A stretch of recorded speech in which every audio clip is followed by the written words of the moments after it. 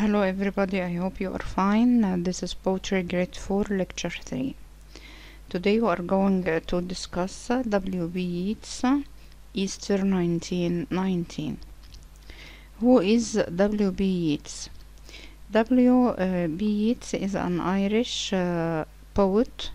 He is considered a, uh, a transitional poet uh, who uh, comes in the age between the Victorian age and the age of modernity. That's why he is called uh, a transitional poetry. He was born in 1865 and died in 1933. This means that uh, he was born near uh, the end of the Victorian age and died uh, in uh, the first uh, um, or the early modern age. That's why he is uh, a transitional poetry. Uh, some critics consider him an introductory of the modern age because his style was different from other poets.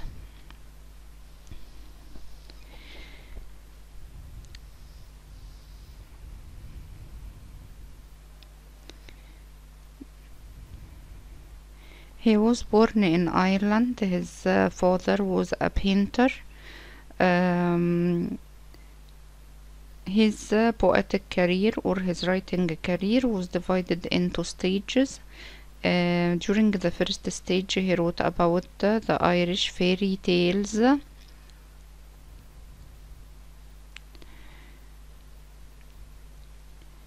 In these uh, tales, he wrote about uh, 16th century magic and nature. He was interested in writing about the Irish uh, mythology or legends اللي هي الأساطير.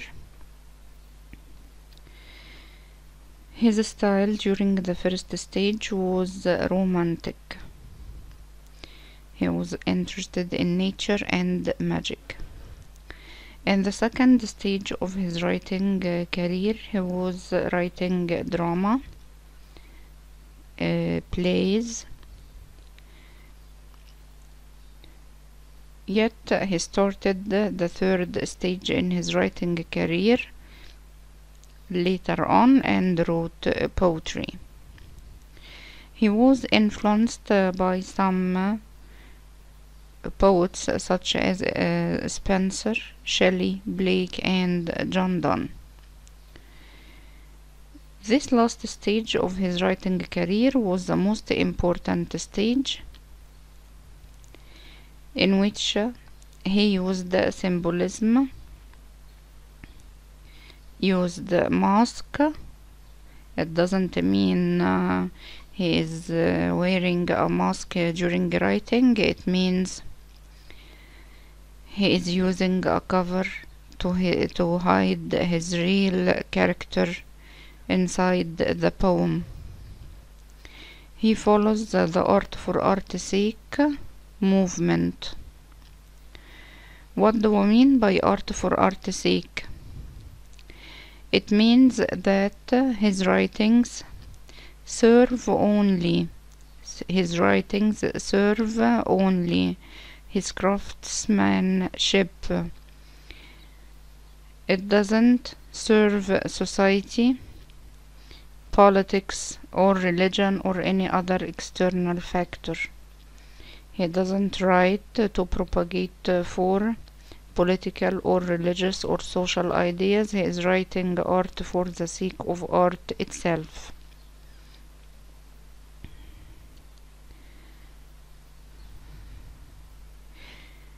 He is the most important writer or poet who write in this uh, transitional period between the Victorian and the modern age.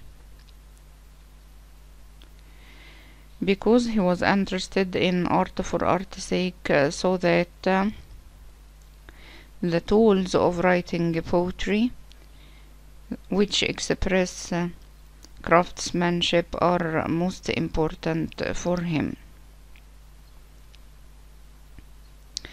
Let's have a look at uh, his poem uh, Easter 1916. The date 1916 is very important for the Irish people because it's the date of their revolution. So Easter 1916 refers to the Irish revolution against the British occupation. The word Easter has a significance in the Christian tradition because it means Eid al-Qiyamah, the day in which uh, the Christ will resurrect or return back uh, to life. The choice of uh, the name is very symbolic because this compares the revolution of the Irish people to resurrection of the Christ. W.B. Yeats is telling us about the surrounding circumstances of the day of the revolution before and after the rise of the revolution.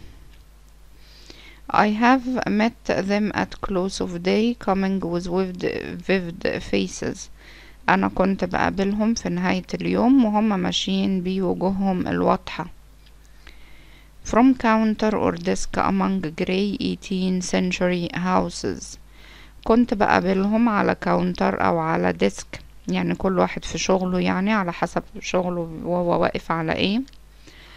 Among grey 18th century houses وسط المنازل اللي بيرجع تاريخها للقرن التمنتاشر اللي لونها رصاصي grey مسألة إن ال Irish houses المنازل في إيرلندا بيرجع تاريخها للقرن التمنتاشر ده ليها أكتر من indication أكتر من مؤشر.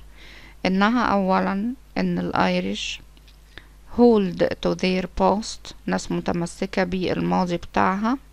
وفي نفس الوقت كون إن المنازل دي جراي لونها رصاصي ده معناها إن في an atmosphere of gloom جو من الكآبة and sadness والحزن. Prevalent on those people سائد على الناس دول. وإيه سبب جو الكآبة والحزن ده؟ هو إنهم خاضعين تحت الاحتلال. They are under the British occupation. I have passed with a nod of the head or polite meaningless words. يعني وأنا معدي بشوف حد بهزله راسي اللي هو زي زيك كده عامل إيه؟ أو polite meaningless words اللي هو صباح الخير صباح النور. or have lingered a while او كنت بطول شوية and uh, said polite meaningless words وبقول ال polite, mean, uh, polite meaningless words اللي هي hello goodbye and thought before I had done of a mocking tale or a gibe to please a companion around the fire at the club قبل ما كنت بفكر كويس قبل ما أروح أكتب mocking tale يعني قصة ساخرة. to please a companion عشان أبسط بيها حد صديق around the fire at the club حوالين الدفاية في النادي. Being certain وكنت متأكد that they and I إن هما وأنا. But lived where mostly is worn. إحنا عايشين في مكان worn يعني ممزق ممزق. All changed utterly. كل ده مع قيام الثورة اتغير. changed utterly اتغير بالكامل. A terrible beauty is born. جمال بشع اتولد. دي هنا a very famous paradox. آه يعني مفارقة. آه تناقض. آه إزاي حاجة جميلة بشعة اتولدت. الشيء الجميل إنها ثورة. إن الشعب صحي. الحاجة البشعة إن للأسف الثورة دي نتج عنها سفك دماء وناس كتير ماتت. فالحلو فيها اللي هو إن الناس قامت ونهضت ورفضت الظلم وطلبت بحريتها لكن الحاجة الوحشة إن ناس كتير ماتت. ده السبب اللي بيخليه يقول beauty is born يعني جمال اللي اتولد ولكنه شيء بشع. في السكند stanza هو بيحكي لنا. That woman's days مثلا لو هناخد يوم من أيام الست دي اللي كانت مشتركة في الثورة الأيام بتاعتها were spent in ignorant goodwill. كانت بتقضيها في حاجات ignorant جهلة ولكن هي يعني نيتها طيبة. Her nights are argument بتقضي الليالي بتاعتها في المجادلة إنها تقعد تتكلم وتجادل until her voice grew shrill لحد ما صوتها بقى حاد. من كتر الكلام.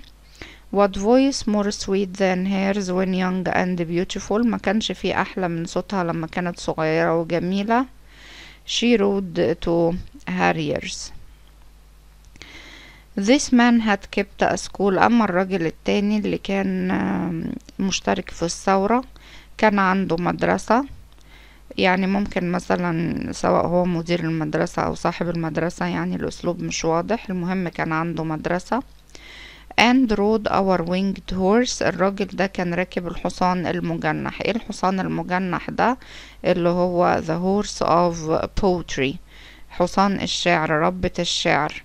فاما بنقول إن هو كان راكب الحصان المجنح دي كده كلها allusion أو كناية عن إنه كان شاعر. يبقى تاني راجل من الناس اللي اشتركت في الثورة.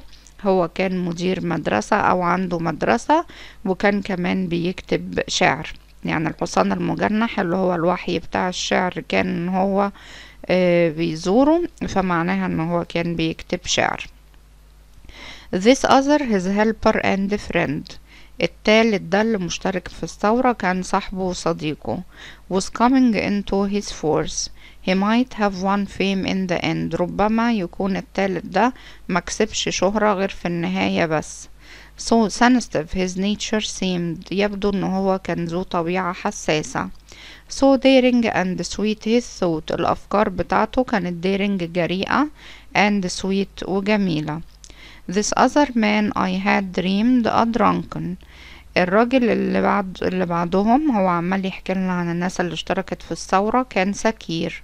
Vainglorious lout. يعني كان راجل مغرور. He had done most bitter wrong. الراجل ده عمل أكبر غلطة مريرة. Bitter هنا بمعنى مريرة. To some who are near my heart في حد قريب من قلبي. هو كان W.B. Yeats بيحب بنت وعايز يتجوزها فالراجل ده يعني تقدم لها وتجوزها قبل منه. فعشان كده W.B. Yeats فيه علاقة شخصية بينه وبين الراجل ده إن هو حس إن هو أخد منه حبيبته ومع ذلك بالرغم إن هو أذاه نفسيا هو بيقول yet I number him in the song. أنا هعدده أو هذكر اسمه في الأغنية بتاعتي. بمعنى إن هو عايز يخلد اسمه عشان هو اشترك في الثورة. He too has resigned his part in the casual comedy. لأن هو الراجل ده كمان resigned his part يعني تخلى عن دوره. In the casual comedy في المسرحية الهزلية اللي كانت بتتمثل. يعني بدل ما هو قاعد كده في حياته راضي بالاحتلال و...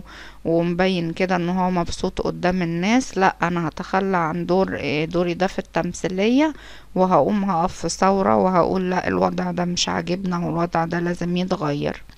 He too has been changed in his turn. هو كمان اتغير بدوره. Transformed utterly. اتغير بالكامل. A terrible beauty is born جمال بشع اتولد Hearts with one purpose.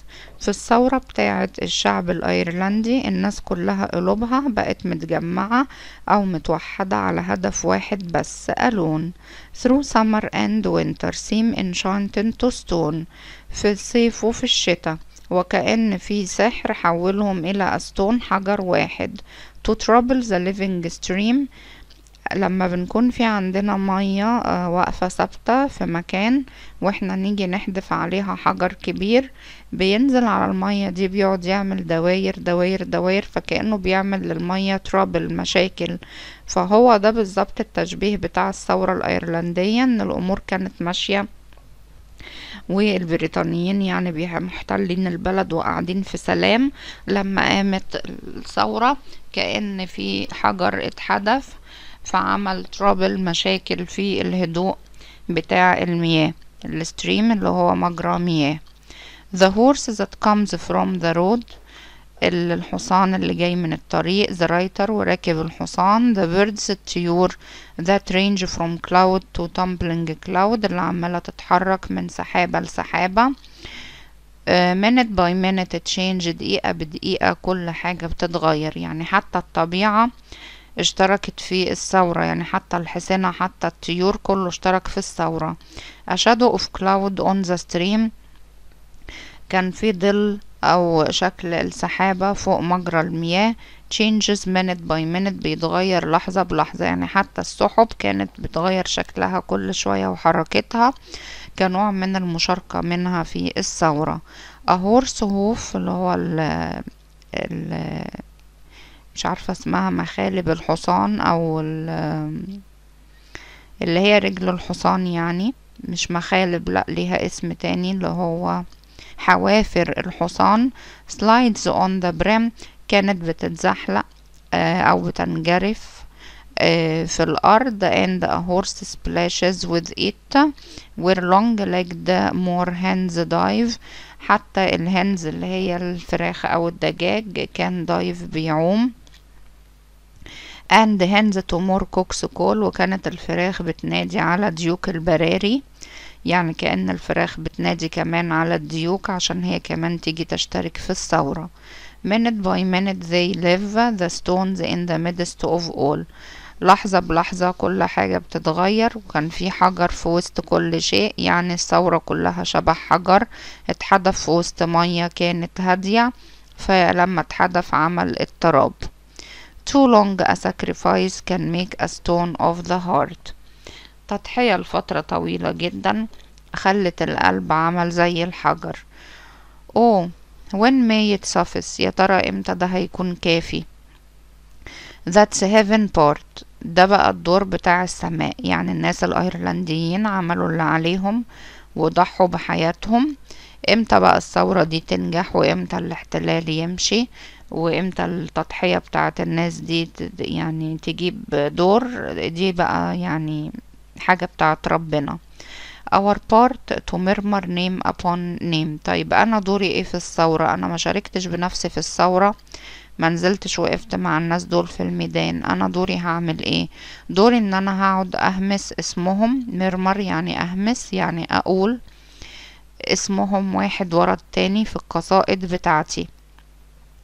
ليه؟ عشان اخلد اسامي الناس اللي اشتركت في الثورة من خلال القصائد بتاعتي. As a mother names her child زي ما الأم بت... بتسمي ابنها أو بتهمس لابنها. When sleep at last has come لما النوم أخيرا بيجي. On limbs that had run wild. على الأطراف الأطراف اللي هي الإيدين والرجلين اللي بقت wild. What is it that uh, night fall no no night but death. للأسف إن اللي حصل يوم الثورة هو مش مجيء الليل ده مجيء موت. Was it needless death after all طيب السؤال هل الموت ده كان موت يعني ملهوش داعي؟ needless يعني ملهوش داعي. يعني هل ما كانش في داعي إن إحنا نقوم بثورة؟ وكنا نوفر حياة الناس اللي اتقتلت في الثورة دي وماتت كده على الفاضي؟ For England may keep faith. مع احتمال إنجلترا تفي بعهودها. إنجلترا عشان هي اللي محتلة إيرلندا. For all that's done and said هو ده اللي بيتقال. We know their dream. إحنا عارفين الناس دي كان عندها حلم. Enough to know they dreamed and are dead. كفاية إن إحنا نعرف إن هما كان عندهم حلم اللي هو الثوار وإن هما ماتوا بالحلم بتاعهم. And what if excessive love bewildered them till they died اللي حصل للثوار ده وموتهم في الثورة ده كان excessive love يعني حب مفرط. يعني هم حبوا البلد قوي قوي قوي قوي لدرجة إن هم شافوا إن يعني حبهم للبلد يستحق إن هم يضحوا بأرواحهم عشان خاطر البلد تبقى في ظروف أحسن. Bewildered them يعني حيرهم till they died لغاية ما ماتوا. I write it out in a verse أنا بكتب ده في الأشعار بتاعتي. يعني أنا هكتب ده عن الثورة في الشعر بتاعي في القصيدة بتاعتي. ماكدونالد and ماكبرايد طبعا ده الأسامي واضح إنها أسامي أيرلندية. Mac في البداية معناها ابن بس دي دايما بادئة بيبدأ بيها. آه معظم الأسماء الأيرلندية. MacDonagh يعني ابن Donagh MacBride ابن Bride and Connolly and Pearse. دي أسامي الناس اللي هي أهم الثوار اللي اشتركوا وماتوا في الثورة الأيرلندية. Now and in time to be. الآن وفي الزمن القادم. Wherever green is worn. Are changed changed utterly. الناس دول هيفضل اسمهم خالد أو موجود في الشعر بتاعي دلوقتي وللأجيال اللي جاية. كل حاجة اتغيرت بعد الثورة كل حاجة اتغيرت بالكامل. a terrible beauty is جمال بشع في آه هذه البلد اتولد. وقلنا دي بارادوكس الجمال البشع ده مقصود بيها. يعني انها الثورة حاجة جميلة إن الناس فاقت من الغيبوبة اللي فيها ولكن هي بشعة عشان الناس دي للأسف كلهم اتعدموا في نفس الميدان بتاع الثورة. آه طيب طبعا the title of the poem عنوان القصيدة اللي إحنا شفناها Easter 1916 reflects a kind of religious feelings بيعكس لنا نوع من الأجواء أو المشاعر الدينية. As well as the incident which took place on 24th of April 1916 ده تاريخ الثورة في أيرلندا 24 إبريل سنة 1916 where the Irish people revolted against the English occupation اللي فيها الناس الإنجليز صاروا ضد الاحتلال البريطاني آه زي ما شفنا the poem starts by describing different kinds of Irish people القصيدة بدأت بوصف ناس مختلفة من الشعب الأيرلندي who do different kinds of work اللي كانوا بيشتغلوا حاجات مختلفة and who have and come from different backgrounds دي اللي هي إحنا كده النهاردة قرينا الأبيات بتاعة القصيدة في ال actual lecture إن شاء الله. هنشرحها مرة أخرى شرح سريع وهنطلع ال figures of speech وهناخد ال critical appreciation بتاع القصيدة إن شاء الله. شكرا على حسن استماعكم ومتابعتكم و goodbye and see you.